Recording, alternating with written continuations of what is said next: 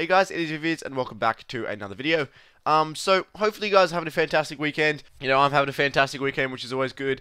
And um, hopefully you guys have been doing some pest control. If you're going for trim completionist cape, you've been doing the castle wars. Uh, if you've been, if you're going for a bunch of XP and you're an efficiency experts, make sure you've been doing all the stealing creations. Uh, what else has been happening? Um, there's there's been a couple of other things that oh Dominion Tower double boss kills as well. Hopefully you guys have been absolutely ab abusing those um, mini games, and I'm going to be telling you guys which which mini games I've been abusing and why. Um, one of my ultimate goals for RuneScape has been to get, obviously, the completionist cape, and another goal of mine has been to get two sets of Void, and now, obviously, with the coming out of Elite Void, it's it, my new goal is to get full Elite Void. So, at the beginning of the weekend, I had one set of Elite Void, I had the Raging Hat, no, the Raging Hat, the Ranging Hat, the Magic Hat, as well as the Melee Hat, and my ultimate goal was to get a like duplicates of each of those items. So I had bank holders obviously in the bank. So this weekend that was my goal. And I was doing pest control for quite a long time because I started with I think it was like four or six points. And I had to work my way up and get you know the entire set again and I calculated it and it would would have taken me about five hours so I was like I kind of ignored the I, I the five hours um you know I tried to ignore the five hour time span uh, that I calculated. So I just I just I just went for it because I was wasting time, um, and I gave it a good crack. Now I ended up getting the uh, the Void Knight gloves. I ended up buying a a regular Void Knight bottom. I upgraded that bottom, and I already had a regular Void Knight top, and I upgraded that top.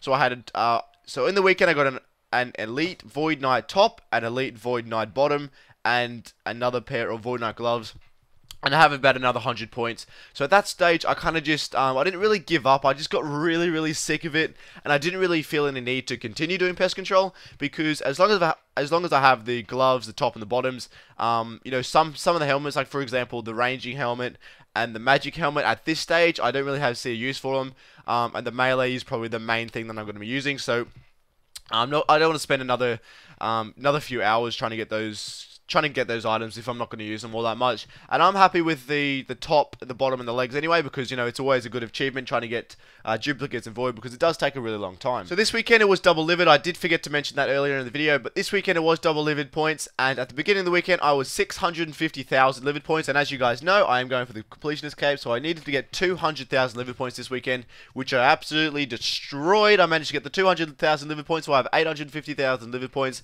I've bought every single spell, spoil spoiler alert for the completionist cape video, which is going to be coming out very shortly. Um, well, actually, it's not going to be coming out very shortly because it's going to be the finale. I've got to do, I've got to do quite a lot of dungeoneering, but you know, I digress. This weekend at Livid, um, it wasn't as bad as I thought it was because uh, 200,000 livid points is the equivalent, or 200,000 livid points this weekend is the equivalent of 100,000 100, livid points um, just regularly because obviously it's double livid points. So it was very, very bearable. And livid for me isn't really that boring and isn't really that tedious. Obviously, if you're going to be there for uh, 40 hours straight, it's going to get really tedious and boring. But for me this weekend, I only get I essentially had to get 100,000 livid points, which really isn't that much.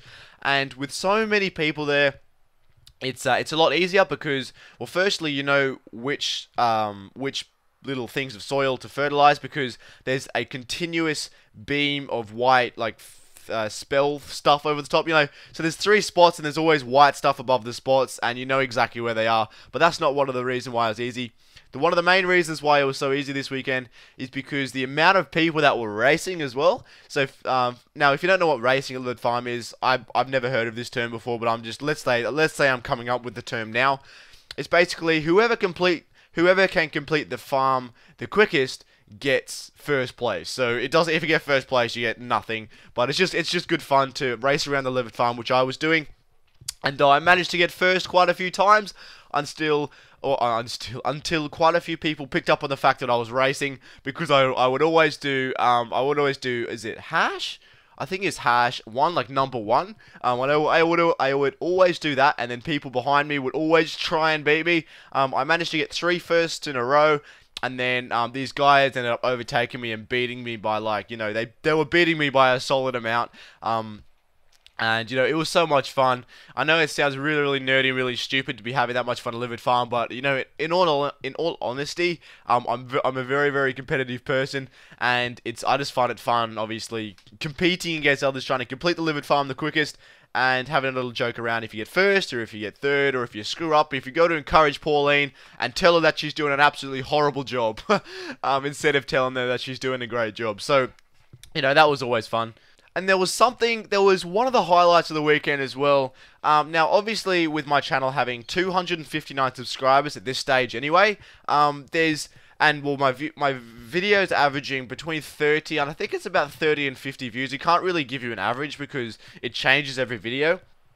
But obviously, with um, you know, with about 50 people in comparison to um, other YouTubers, which get you know thousands and thousands, which they would get recognized very, very um, often. And for me, having about 30, 30 to 50 people watching the videos, um, and there's like 30,000 people playing the game, the chances of people coming up to me in game and actually recognizing me, quote like recognizing quote unquote, basically coming up to me and saying that they watch their videos, there's a very, very small percentage um, of chance that people come and do that. But this weekend, I was running back from my sinkholes, and I believe his name was Lucky Joe. I'll show you the clip on screen. But I was running back from my sinkholes. It was like it was a split second because it would it would have taken me about 10 minutes to run from the sinkholes dude to the bank. And when I was running up there, this guy followed me and he asked me if I was the YouTuber. And I swear, man, it was one of like you know, having so many people play RuneScape, and if when someone actually comes up to me and recognizes that I've make YouTube videos in game,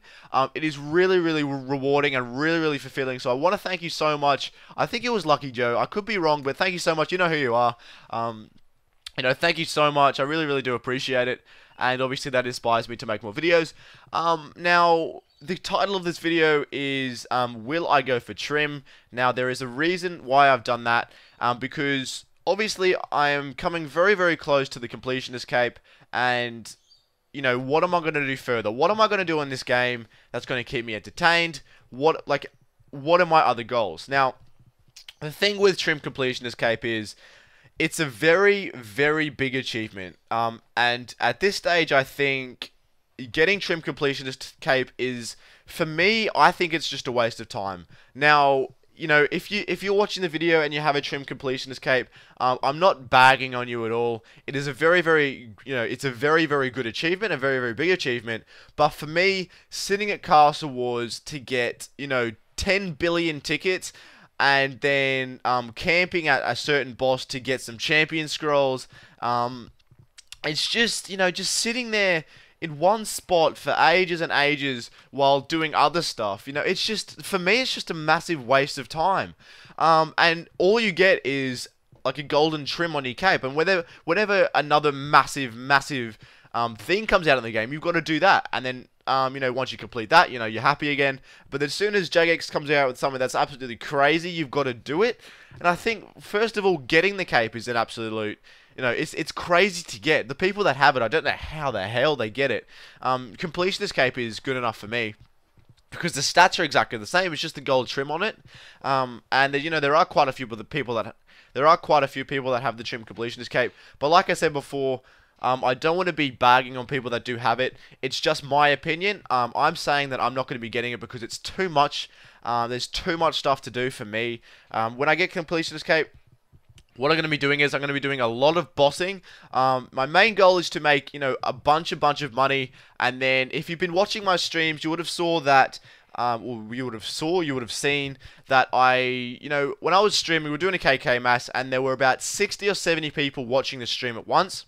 And the reason I'm saying that there were so many people watching the stream is because it was a great opportunity to um, ask people if they would like to give me a little bit of money, in which um, I would use that money to make um, viewers of the stream members. So what, what I did was I took a couple of donations from the stream, and um, you know I had I took all my money out of my um, coin pouch, my coin purse, and I put it in the bank. So I had zero GP, every single um, GP that I received went back to the community. So I did not keep a single GP.